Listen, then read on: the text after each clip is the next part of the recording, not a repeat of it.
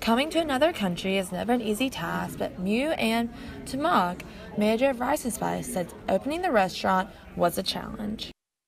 No matter how small or big the business is, there will always be difficulty.